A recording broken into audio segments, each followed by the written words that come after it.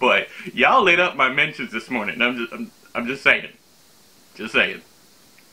Hello everybody, E here. We got new Stephen King news. Finally, I was saying for the longest time I didn't expect that there would be a Stephen King book this year. Um, I even postulated that he was working with uh, Straub on the next Territories book, but it's finally been announced that we're getting a new Stephen King book on September 10th, and it's called The Institute. Um, down in the comments, I want to talk, you know, go through maybe some predictions, what everybody thinks it's going to be about, whether or not you're excited, just trying to put something up on the channel for the community to start a discussion.